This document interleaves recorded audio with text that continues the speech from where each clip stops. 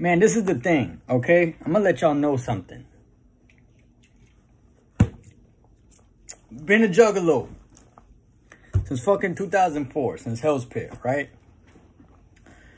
Took me years to really get down the whole family aspect, right? Because a lot of fucking ninjas, especially back then, at least that I met in my area, I could only speak about Florida juggalos, about New Port Richey juggalos, all right? Mostly, because that's who the the majority that of interactions and shit of motherfuckers that's that's where they stayed at. And a lot of them did treat it like a fucking game i have family members that have joined gangs. It's not my thing okay? So it took me a little while to really get down and uh understand shit right even though i was into fucking any you know anything that icp did I met fucking, um, I got into Tech N9ne through them, Cottonmouth Kings through them. And, um, and so, you know, little shit here and there just, just made me appreciate the family more and more and made me love the family, right? But even then, especially back then, and I'm, I'm even talking about, um, you could go as far forward as like 2008, 2009 like I've told y'all many a times, when I was on probation, cops would think that I was in the gang just because they would see the hatchet man fitted, blah, blah, blah, the, the chain, whatever the fuck, right? I'm gonna let y'all know something. I don't think I'm anybody, and I try not to get into shit. I went to the gathering for the first time this year. Y'all know. Y'all know how the experience was. Ended up being hella dope right? When I believe something in something enough, I let it be known, I put it out there, and I wholeheartedly rep that shit. I'm not a motherfucker to be jumping. I'm I never been one to jump on trends. I never been one to jump on what I thought everybody thought was cool. And this goes all the way back to grade school. Class clowns. I always saw, okay, y'all doing it for attention. Y'all doing it because this asshole said something that was sort of maybe a little funny. Everybody laughed because they think that he's cool. And then y'all motherfuckers started laughing with him. Trying to perpetuate this shit, right? Jumping on bandwagons, right? How we call. I never been that. I never like you could I could break this down as far as even gaming. PlayStation, Xbox.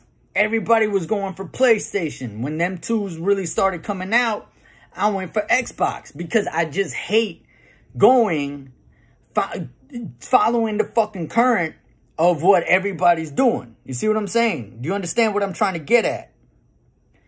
So I don't just back something up. I don't just rep something because I think it's going to win me cool points because I feel like everybody's doing that shit. Especially at a time when juggalos were getting ridiculed left and right. Okay? When Bang Pow Boom came out, everybody was fucking clowning him. All this shit, right? So I never been one to do it, and I try to keep my mouth shut. I try to stay out of shit. I know there's, I've met a lot of you motherfuckers at the gathering that I admire so much because of the level of dedication. Because this shit at this point spans generations. You got families, you got dudes that are grandparents, juggalos that are grandparents, that they kids now have kids, and it's on some hardcore shit. Tatted up, whole body. All six Joker cards. I mean, the whole fucking legacy of the Dark Carnival is on your skin forever. Like, that shit, it meant something to see that, and it totally reinvented, how do you say that? Um, whatever, like, it revitalized my faith in the Juggalo family, the whole community. And for you, Randy, whatever the fuck your name is, jumping on, acting like you know, and this is this is what I was trying to get at. I try to stay quiet, but I see some of you fucking morons, and some of y'all was at the gathering too. Don't get it twisted. I see some of you fucking morons speaking so stupidly that I feel that I have no choice but to put my two cents because I'm not a fucking moron. And I refuse to be represented in a dumbass way with something that I'm so passionate about because I felt the power of the Dark Carnival. It's in my soul. It's been touched me and it'll it'll be a forever thing. Something that I educate my kids on. Something that I want them to understand how important, how beautiful it is. The fact that we get to appreciate individualism, community. And for someone to come over here and be like, oh, it's just a fan base. Oh, y'all getting ripped off. Oh, nobody's fucking perfect. Okay? Anybody that's a fucking millionaire, anybody that's fucking ascended levels, broke through the roofs, okay? They're not fucking saints. At the end of the day, everybody got to get paid. At the end of the day, if you are smart enough to break out of poverty, if you are smart enough to really see past the smoking mirrors of society, and you're a very blunt person, as we juggalos are, because you gotta be thick skinned, you can't be a little pussy bitch. You understand that not everybody's gonna get it. You know what I mean? We've all had them homies that got laughed at by everybody that you know that they're not all there, that they all say dumb shit, but we love them because they're showing genuine love, right? That's what goes on with us. You'd be a damn fool to think that every motherfucking juggalo is on some right shit, that they know what they're talking about, that they're not lame. Look at Boy Blue, Child's Play Ninja, all these motherfuckers that you know, you know, it's like it's a fucking family. And like with every family, you got shady characters. You just take it for what it is. Yeah, yeah, you know, because you're not an asshole. You're not heartless. We know to some degree what it's like to be an outcast, to be a black sheep. We know this. You think that if I really gave a fuck about what my real family thought, I'd be looking like this? No. I'd be in some fucking dress shirt. I'd be, you know, with my glasses. I'd be a fucking, uh, trying to be a goddamn doctor or some fucking shit. But I choose to go against shit because, like I said, I don't conform and I don't feel the need to be accepted by anybody, juggalos included. Okay? You see that shit, but even with that, even with whatever, still, at the end of the day, it's what I feel and what I could resonate with. Violent J and Shaggy 2 Dope, they may never fucking talk to me one on one. I may never like really have like a conversation with them, but I always admire them, admire what they stand for, their individualism, and their business savviness. Like it's it's so many components to them that makes them up. And they've shed light. And now we got DJ Clay, we had Keegan, we got eh, like the, the shit just trickled down so damn much and it's touched so many people it is impossible to not recognize that shit. And unfortunately, though, a lot of these morons that talk shit about juggalos, they're not integrated like that. It took me years to get to the gathering, right? And now that I have, I kick my own ass because I'm like, bro, you should have, all those times where I was on the cusp of saying, you know what, fuck this. If I lose my job, I lose my job. But of course, we're like, oh no, I gotta be the responsible one. What, what what's everybody gonna think if I fucking lose my place because I wanted to go fucking to a concert, a four day concert, this and that. Not realizing the magnitude of it, not realizing how deep it goes and how beautiful the experience is. And now that I have, I'm like, fuck, dude. I look back at all the footage. I love what just watching gathering videos and all this shit. And I'm just like, damn, dude, like, beautiful shit. Beautiful. So now that I, I've been there and I've seen it, I understand how important it is to just be that integrated and to really open yourself up to meeting all these motherfucking ninjas. All these motherfuckers. That, most of the motherfuckers I vibed with at the gathering I never met. None of the on, online people, aside from, of course, liking and shit. None of them. So, I'm grateful for it because it, it, it was incredible. It was just mind-boggling, right? I got to see that those that saw that we made an effort to be there, you get that much more respect and validation. It's beautiful, right? Even though we don't live for it, it's still beautiful. Because, especially with juggalos, you don't get to just waltz in and act like you're somebody. You get put to the test and you get called out. So, that was a beautiful thing. But for some of y'all to sit there just running your mouths, acting like we're a joke, like we're not a community, that's bullshit. Bullshit. Randy. I bet your punk ass never been to a gathering. I bet all you do is just take here, there, and just fucking talk that shit like you somebody. You're not. And there's some people that take it way too like by the book type shit. Not everybody's gonna fucking vibe out to straight up the first three Joker cards, the first four Joker cards. After a while, people grow. It's like my dog Mike that lives in Maine. He straight up said it, and I respect him so much because he said, he said, bro, I'm not fucking 13 no more. Okay? After a while, certain shit gets old. I like shit from 08 on up. I like shit from this. One of my favorite albums, aside from fucking Hell's Pit and Ringmaster, is The Tempest. And I bet a lot of you motherfuckers are like, what? What? I'm sorry, but I fucking love it. It, it, I love it. I can't help it. So, you're not going to be liked by everybody. You're not going to be accepted by everybody. Or they may not see you a certain way. But I'm going to tell y'all this. Especially with the whole FBI shit is one of the my openers. The March on Washington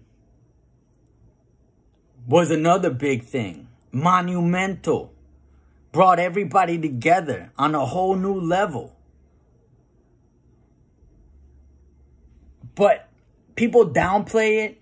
People water it down. They act like it was on some selfish fucking, oh, they just wanted publicity. Oh, they wanted this. How the fuck when we've been ridiculed for so long since day one.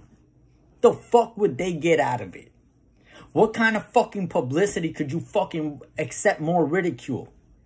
Why do you think that it was so successful? Why do you think that after that, everybody that made fun of juggalos, that made fun of ICP, that made fun of psychopathic, were finally like, oh, maybe they actually are onto something.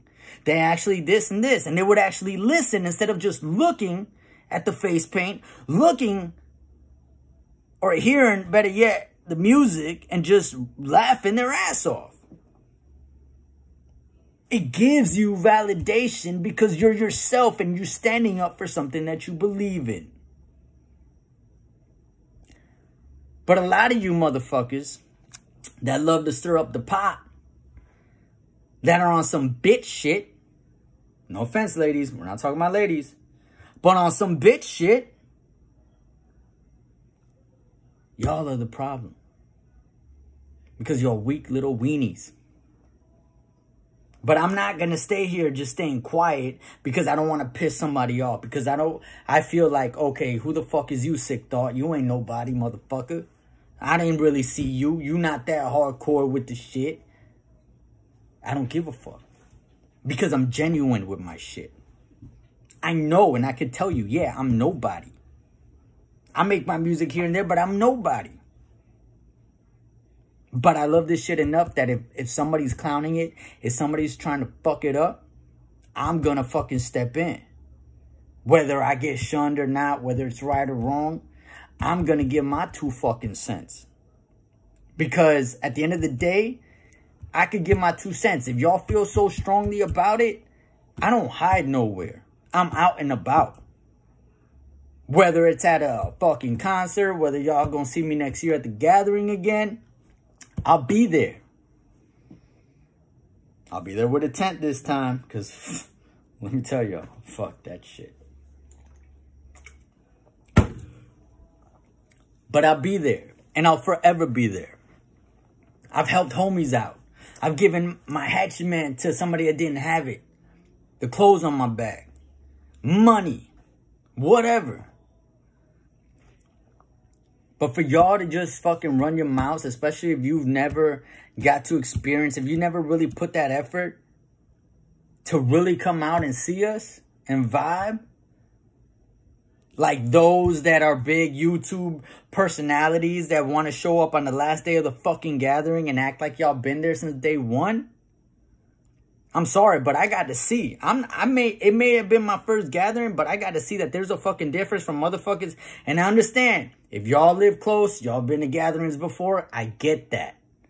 You don't have to be there all the all fucking four days or whatever. You don't have to attend a parking lot party, all that shit. But you got to do it at least one time. And if you're that type that you've never been and you only seize an opportunity for clout, for views, for exposure, and you show up the last fucking day and you like posting all these fucking videos on YouTube, Brandon this, oh, Brandon that. And I get it. And I got to see also that a lot of y'all, especially again, if it's not your first rodeo, I get it. They're, they're sub communities in the gathering that y'all link up, whether it's RVs, tents, y'all got y'all spot. Okay? But I, at least for me, my experience, what I will always speak on is my own experiences.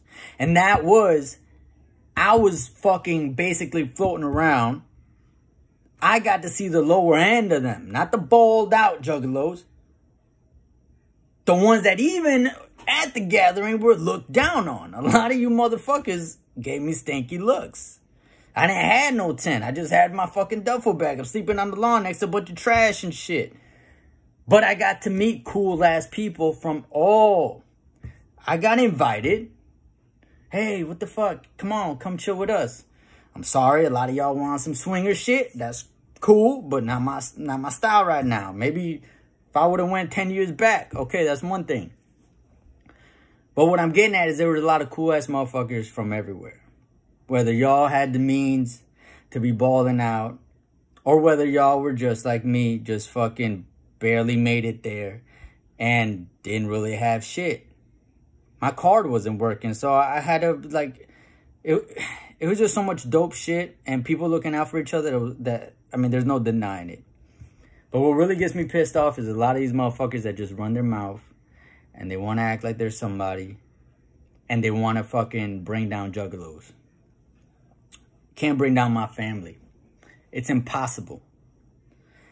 And if I make a video talking about the Twiztid shit, I may feel type of way. I like them. I don't like people that, one, gain, they gain this fan base. They live good off of it. Then they turn their backs on us. I hate that shit. And that was a very common theme. It's been a common theme for many years. But again, bringing up the little that I know, I saw it with Esham. We could say even Tech because they squashed that shit. I get it. Because I was also like, you know what, fuck Esham, da da da da. At the same time, it sucked because I loved his shit. Twiztid, the thing about them is, yeah, okay, they could spit. But like Mono's attitude and shit. Jamie still, I'm like, man, he was like more solid dude, but I just don't like sneaky indirect shit and all that. Again, I don't, I haven't been to a Twiztid show since uh, before they left Psychopathic because I went to the American Psychos tour. But I haven't been to their show after that because I'm not one to just be, like I said, I knew what it was. I got the Hatchman tattoo for a reason. And it's crazy because I wanted to get fucking Tech's face on me for a long time. But the moment that I saw that, excuse me, he was quick to belittle us just to be on that popular shit, to be on Hot 97, to get that mainstream recognition, which we knew that that was coming because he's been wanting to do it for years. For years. This is 2010 we're talking about. I already wasn't liking that shit. It's just not me. And if I'm not wholeheartedly into something, I'm not gonna do something that's permanent, something that that's putting it out there forever. But I did it with psychopathic. I did it for the juggalo family, for myself included, everybody, because of the love that I had. And I'll forever, I don't do this to speak on popular shit. It could be very unpopular opinion, but it's my fucking opinion. And if other motherfuckers, stupid motherfuckers, could run their mouth, so the fuck can I. Because at least I'm not out here mooching on people. At least I'm not out here trying to fucking, uh, uh, um, fuck, I can't find the fucking words. You know, I can't, I can't just cheat people out on shit. I'm not asking for money. I'm not constantly like, hey, bro, I gotta get this fucking MXD. I gotta get a two for four. Somebody donate me four bucks, man. Fuck. Every single fucking day. Again, when I speak on it, I'm only speaking on the fucking leeches. Not those that are genuine people. So, y'all motherfuckers that's running your mouth like that Randy motherfucker, fuck you. I don't give two shits. But this is a fucking community. And it runs deep as shit. Especially depending on where you stay at. I saw that. And it's respect. I got mad respect. Florida may not have as many juggalos, but listen. Go to certain states. I want to go to fucking Detroit because I can't imagine how many fucking juggalos there are and how fucking the devotion is and the seriousness is to this shit. It's beautiful. And the gathering will forever be the only church I attend. So, whoop whoop. Sorry this shit was as long as it was. But, um, and I'm sorry that it takes forever. I may not always respond. I like doing this. Once I get the equipment set up, I want to do videos where we're actually bouncing shit off, debates, whatever the fuck you want to call it.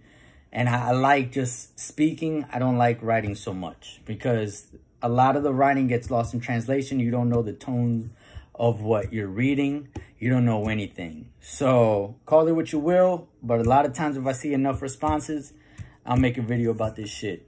And I'll speak on it my damn self. So you could just fucking hear it from my mouth. Because I don't like the whole writing shit. That's what it is. You already know. Ah. Uh, anyways, I'm out. Whoop whoop. Be safe, y'all. And do what you do. I love y'all.